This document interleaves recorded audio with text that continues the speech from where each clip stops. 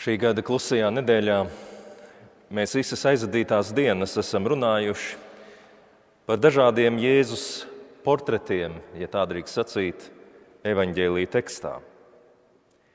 Par dažādiem viņa dzīves aspektiem, kuros izpaudās tas, ko vēlāk vienā vārdā kristieši sauca par Jēzus nesto glābšanu. Jēzus ir mūsu glābējs. Šo frāzi mēs varam dzirdēt, un esam noteikti dzirdējuši daudzos kontekstos. Bet kādā veidā viņš mūs glābi? Mēs runājām par viņu kā par Dieva valstības vēstnesi, par cilvēku, kuram bija dots uzdevums pasludināt kaut ko tik ļoti būtisku, kļūt par Dieva sākotnējā nodoma atklājēju, Dieva žēlastības apliecinātāju, kura vārdi dziedina un maina cilvēku domāšanu. Mēs arī runājām par evaņģēlijos bieži atrodamo ainu, kur Jēzus darbojas kā ārsts, kā dziedinātājs, kurš ārstē un atbrīvo atsevišķus cilvēkus no tik dažādām kaitēm un problēmām, kas viņiem traucē atvērties dievam, citiem cilvēkiem, pašai dzīvei.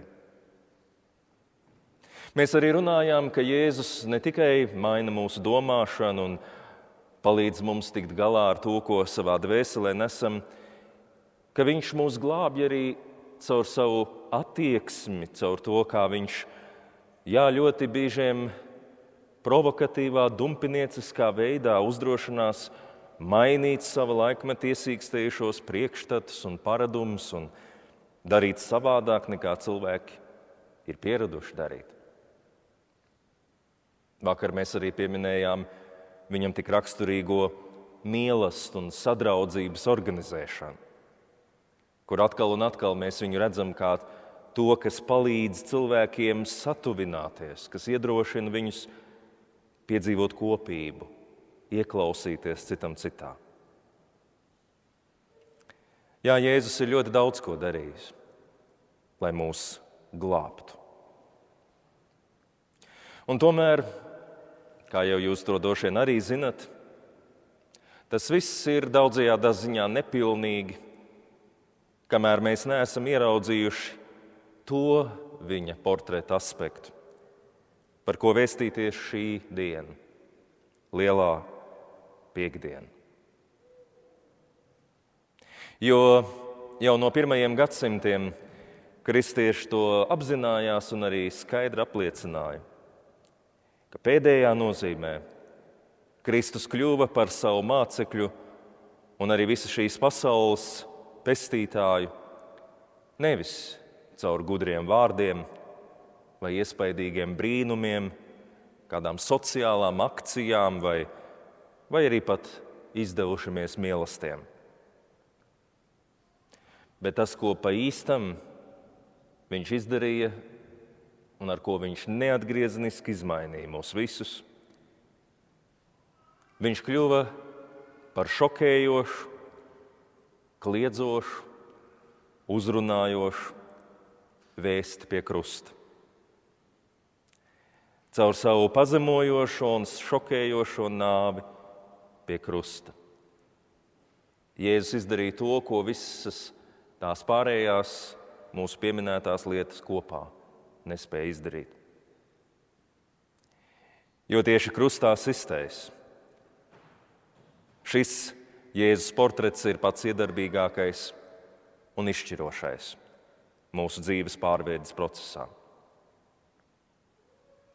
Un, ja man vajadzētu vienā teikumā pateikt, kāpēc tieši krusts, tieši lielā piekdiena. Tad viena no atbildēm varētu būt tāda, ka īstenībā tikai lielās piekdienas notikumos mēs ieraugam to vietu un to brīdi, kur viss kļūst līdz galam īsts un nopietns. Es domāju, mēs visi zinām šo patiesību, bet vēlreiz to atkārtošu. Kad cilvēks tā pa īstam mainās, tikai tad, kad citādi vairs galīgi nevar. Kamēr vien mums ir iespēja, mēs pamanāmies pilnīgi visu kaut kā tā izskaidrot, un iegrozīt un ielikt savā apziņā un savā dzīvēm Un mēs kaut kā ejam uz priekšu, un mēs kaut ko, protams, esam sapratuši un, un kaut ko atzīstam par pareizu. Bet vai tāpēc mēs mainamies? Ļoti grūti to sacīt. Bieži vien tikai tad, kad mēs piedzīvojam patiesas sāpes. Tad, kad turpināt pa vecam vienkārši ir pārāk sarežģīti, tas kļūst sāpīgāk un grūtāk nekā kaut ko mainīt, nu tad, kad citādi vairs nevar, tad cilvēks mainās. Un es uzdrošinos apgalvot, ka ar Jēzus tuvākajiem mācekļiem tas bija ļoti līdzīgi. Jo viņi, protams, bija dzirdējuši kā Jēzus kaut kā savādāk runā par Dievu. Viņi bija redzējuši, kā viņš neparasti pozitīvi iedarbojas uz cilvēku dzīvēm. Viņi bija redzējuši, kā viņš iestājas pret netaisnību, spēja apklusināt savus oponentus, kā viņš pulcina cilvēkus un notiek brīnumi. Tas viss ir labi, tas viss ir skaisti. Tas viss ir pareizi. Mēs piekrītam, mēs esam gatavi iet līdzi, mēs esam gatavi sacīt, ka tas patiešām ir kaut kas ļoti īpašs un vērtīgs. Un tālāk, nu, tālāk neko daudz. Tas vienkārši ir tā ļoti aizraujoši un interesanti. Un mēs varam ar interesi vērot, nezinu, ar ko tas viss beigsies. Ko Dievs vēl caur Jēzu darīs? Redziet, lai cik lieli būtu brīnumi, lai cik spēcīgi būtu vārdi, mēs spējam to panest un nemainīties itin nemaz.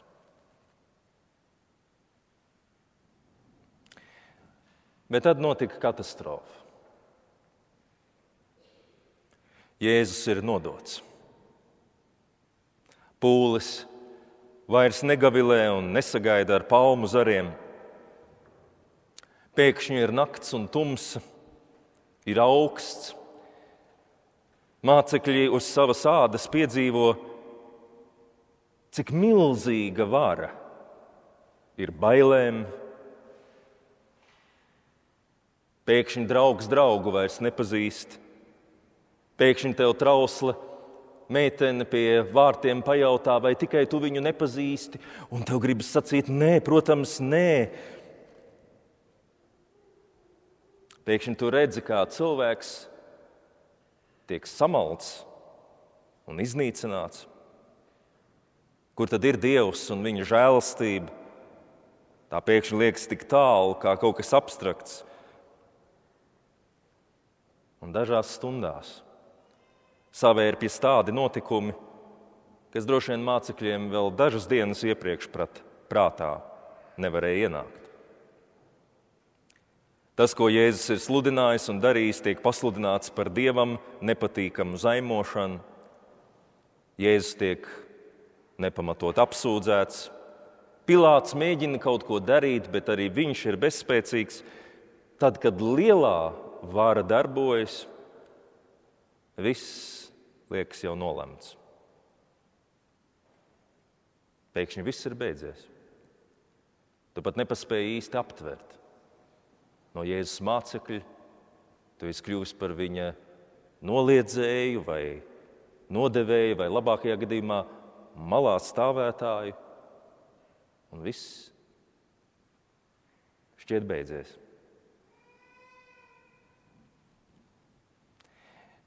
Es domāju, ka ja vien mēs neapstājamies un lēnām, lēnām, rūpīgi nelasām šos tekstus, mēs pat īsti nespējam tā uzreiz aptvert.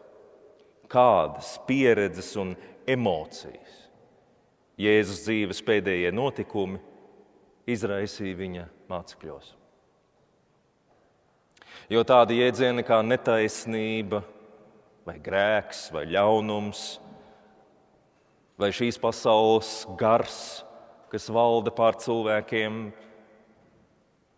tas viss pēkšņi iegūst pavisam jauna līmeņa īstumu, ļoti konkrētas apreses. Pravietojums par dieva kalpu, kurš uz saviem pleciem iznesīs savas tautas pārkāpumus un grēkus. Kļūs par grēkāzi, ko visi ienīst, no kura novēršas, un īstenībā paši nemaz nesaprot, kāpēc. Tas viss kļūst īsti. Izrādās, runa nav par niekiem. Runa nav par kādiem grēkiem, kur mēs nevaram vien saprast, vai viņi ir vai nav tāds īsts morāls pārkāpums. Runa ir par dzīvību un nāvi. Un tas notiek manā, mūsu dzīvē, mūsu acu priekšā. Mēs tajā piedalāmies. Mēs domājam, ka runa ir par Dievu, par, par brīnumiem, par lielām lietām. Runa ir par mums, par mani, kurš pēkšņi nespēja pār lūpu pārspļaut un vienu vārdu pateikt.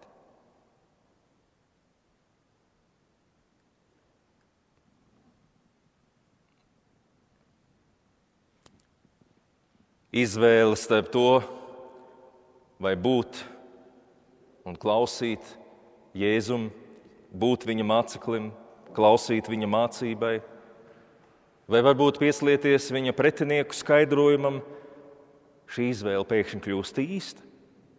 Te nav vairs runa par skaistiem vārdiem, bet par liecību, ko tu nodod ar savu dzīvi, kurā pusē tu gribi nostāties. Nu, kā tad īstenībā ir? Tanī brīdī, kad Jēzus bija varens un stiprs un viņš gāja no vienas pilsētas uz otru, mēs gājām līdzi. Nu, bet, protams, mēs gribam piederēt Dievam.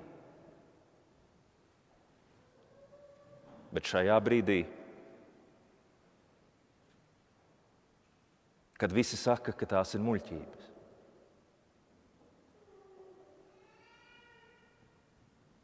ko tad es patiesībā domāju?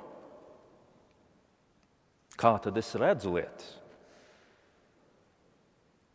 Redzēt Jēzu, kurš izraisa sajūsmu cilvēkos, tā ir viena lieta.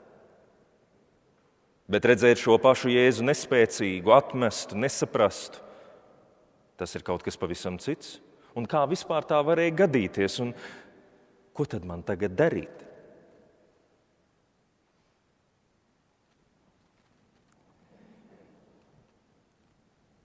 Mācekļiem Tas bija ļoti grūts brīdis.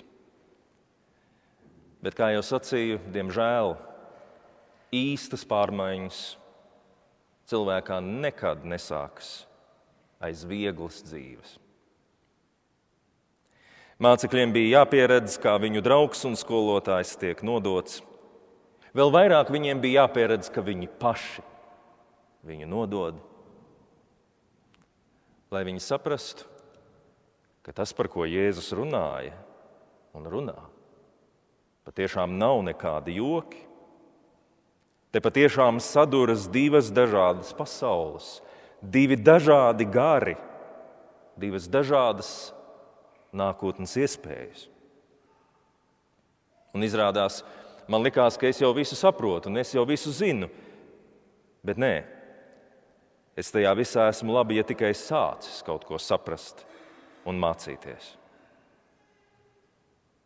Redziet, kamēr nebija lielās piekdienas, kamēr Jēzus nebija nogalināts, varēja sacīt, nu, nu, protams, mēs taču zinām, ka Dievs ir labs. Nu, kurš tad apgalvo pretējo? Vai tad šajā pasaulē ir kāds cilvēks, kas apgalvotu pretējo? Mēs visi esam normāli cilvēki, vai ne? Bet lielā piekdiena ir šoks. ka nekā tam līdzīga. Ka dieva žēlastība nebūtu nav visiem pazīstama un saprotama, ka mēs nebūtu neesam labi ļaudis, kuriem vienkārši atlicis vēl dažas morāles nepilnības pielabot. Nē, cilvēks ir pilns ar spēkiem, kurus pats nepārvalda un pats neapzinās. Lieta ir nopietna. Izrādās, mums patiešām ir nepieciešama paša dieva palīdzība, ja mēs gribam mainīties un dzīvot citādi.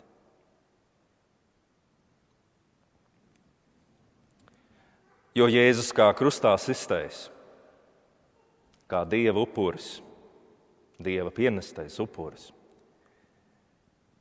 ir tas, kas mūs izgaismo. To, kas mūsu sirdīs notiek. Taču Lielā piekdiena parāda vēl kaut ko. Ne jau tikai grēku un ļaunuma īstumu.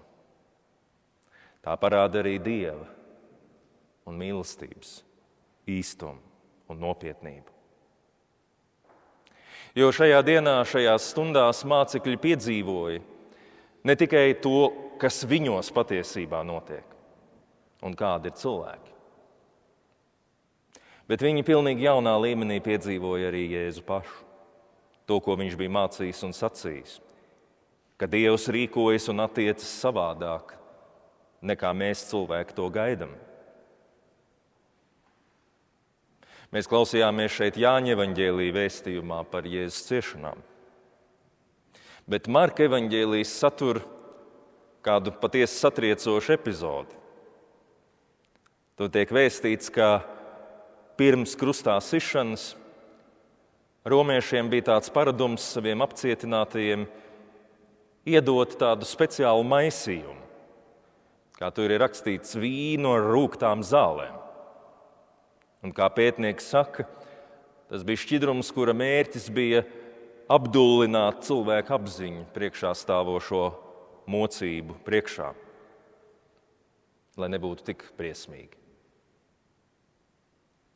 Bet Marks saka, ka Jēzus atteicās no šī maisījuma baudīšanas. Parasti mēs to palaidām garām. Bet tas nozīmē, ka Jēzus atteicās no iespējas padarīt neskaidru savu apziņu, lai nejustu sāpes. Viņam bija svarīgi kaut kādu iemeslu dēļ šo apziņu saglabāt skaidru, labi zinot, ka tas nozīmēs vēl lielākas mokas. Un tam ir tikai viens iespējamais skaidrojums. Viņš apzinājās, kas ir viņa patiesais uzdevums šajās dažās stundās. Viņš bija runājis par Dievu, kurš ir mīlestība. Un Jēzum bija jāsaglabā visi savi cilvēcīgie spēki, lai viņš varētu līdz galam palikt tas, kas viņš ir. Cilvēks ar lielo burtu, uzticīgs un uzticams tam ceļam, kas viņā atklājās. Tas viņam maksāja ļoti daudz, bet Jēzus palika vienots ar savu debesu tēvu. Viņš nenolāda savus mocītājus, kā to bieži cilvēki tādās mokās esot darījuši. Bet līdz pat pēdējiem izsaucienam, ar kuru viņš dāvina savu garu, viņš visu sevi uztic Dievam. Un ziniet, ko viņš dara? Viņš aizlūdz par mums, saviem krustāsitējiem, saviem mācekļiem.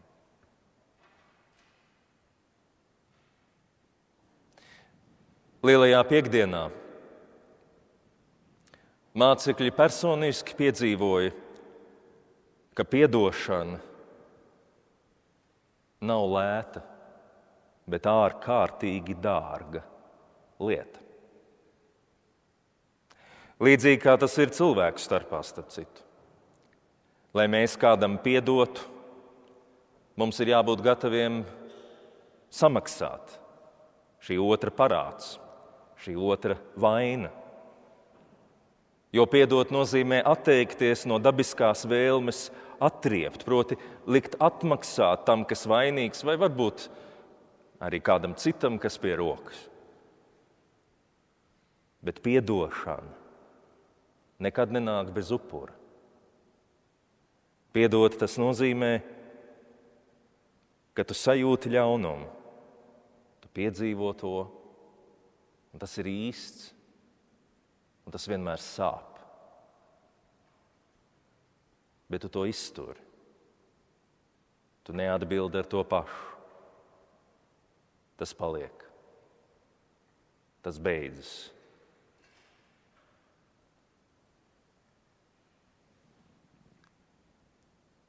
Jēzus saņēma to, ko viņš nebija pelnījis. Viņš dabūja ciest Nevis tāpēc, ka viņš būtu nejauks cilvēks, bet tāpēc, ka mēs esam nejauki cilvēki. Viņš dabūja ciest, kā Bībeles teksts to saka, mūsu pārkāpumu dēļ, mūsu netaisnības, nodevības, skaudības, melīguma, cietsirdības dēļ. Tas, kurš citus darīs veselus, tika nomocīts tikai tāpēc, ka kādiem tā bija vieglāk atrisināt savas problēmas. Un dabiski būtu bijis mēģināt atdot atpakaļ. Nu, vismaz caur vārdiem pateikt, kas te notiek. Bet Jēzus saglabā savu apziņu skaidru un dzidru līdz galam. Viņš aizlūdz par saviem pārdarītājiem. Viņš paliek uzticams tēvam jo tas ir kāds viņš ir. Tas ir kāds Dievs ir. Un līdz ar to tieši šajā dienā mācekļi saprata, ka pa īstam ir ne tikai pasaules ļaunums un grēks, bet pa īstam ir arī tas, ko Jēzus bija mācījis un ir mācījis par Dievu. Ka Dievs patiešām mums piedod. Un tie nav tikai vārdi. Pateikt, es tev piedodu, bet pēc tam likt samaksāt, tas ir briesmīgi. Cilvēki tā mēdz darīt. Bet, kad Dievs saka, es tev piedodu, tev ir piedots, tad tas ir nopietni. Jo pat ja Dievam jāmirst pie krusta, Pat ja viņam jāsaņem tas ļaunākais, ko mēs spējam izdarīt, viņš turpina mūs mīlēt. Viņš neliek mums samaksāt, kā gan mēs to spētu. Bet viņš saka, tev ir piedots. Viņš samaksā šo parādu mūsu vietā. Viņš izcieš mūsu netaisnības un turpina mūs mīlēt. Un tāpēc nevis skaisti vārdi, bet tieši šie mirkļi pie krusta bija tas punkts, kurā mācekļi saprata, ka pat viņu pašas noturīgākās un dziļākās šaubas sāk atkāpties. Vēsts par dievu piedošanu nav tukši vārdi. Jēzus nav vienkārši fantasts, viņš nav vienkārši brīnumdars, viņš nav vienkārši sociāls nemiernieks vai mīlestību saimnieks. Viņā ir tas vienīgais spēks, kāpēc mēs pa īstam dzīvojam. Un tā ir milzīgā, milzīgā dieva pacietība. Mēs viņu šaustam, bet viņš mūs mīl. Un tas ir pa īstam. Tie nav vārdi. Tā ir realitāte. Lūk, tāpēc lielā piekdiena ir tik ļoti nozīmīga. tikai iemiesojoties šādā dramatiskā veidā, mīlestība kļūst reāla. Tikai izsāpot to, kas tur notika, mēs pa īstam sākam kaut ko saprast un būt citādi. Kamēr tie ir vārdi, tie ir vārdi. Bet ieraudzījuši to īstenībā, mēs pat esam šokēti. Bet tas ir sākums pārmaiņām. Es atklāju, uz ko es esmu spējīgs, un es atklāju Dieva piedošanas mērogus. Tā ir milzīga krīze, bet no šīs krīzes sākās dziedināšana un transformācijas ceļš. Un tāpēc arī šajā dievkalpojumā, kā jūs to zinat, pēc mirkļa mēs godināsim Kristus krustu. Pašu spēcīgāko Dieva dāvātās glābšanas zīmi. Ja tā mūs neuzrunā, jautājums, kas var mūs uzrunāt? Un atcerieties, lūdzu, šai vakarā, ka šis krusts ir tas, kas padara sarunu par grēku un arī par žēlstību, padara šo sarunu īstu. Te nav nekādi joki, te nav runa par pasakām. Nav cita ceļa, kā to, ko Kristus mums rāda. Un tāpēc arī šodien mēs noliksim šeit šo krusta zīmi altāra priekšā. Un līdzīgi kā citus gadus, mēs dosimies to pagodināt un uzrakstīsim uz šī krusta dažus vārdus. Kādus, kas varbūt šodien mūsuprāt tiek krustā sisti, par kuriem mēs gribam aizlūgt. Kādus, kuriem mēs gribam palūgt atdošanu kādus, kuriem var būt vajadzīga mūsu piedošana. Jo krusts ir tā vieta, kur saplūst kopā pilnīgi viss. Gan mūsu sāpes un neatrisinātās, neatrisināmās lietas, gan arī Dieva spēks to dziedināt. Mēs esam šajā dievkalpojumā tāpēc, lai ieraudzītu viens otru šajās rokās, kas izplestas, pilnas sāpju un reizē pilnas mīlestības.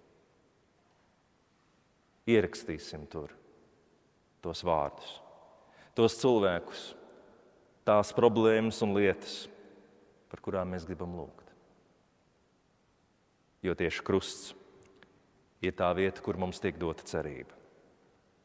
Vistumšākās nakts vidū sāk spīdēt gaisma, jo ir kāds, kura mīlestība ir lielāka par visiem mūsu grēkiem un visām mūsu vainām. Āmen!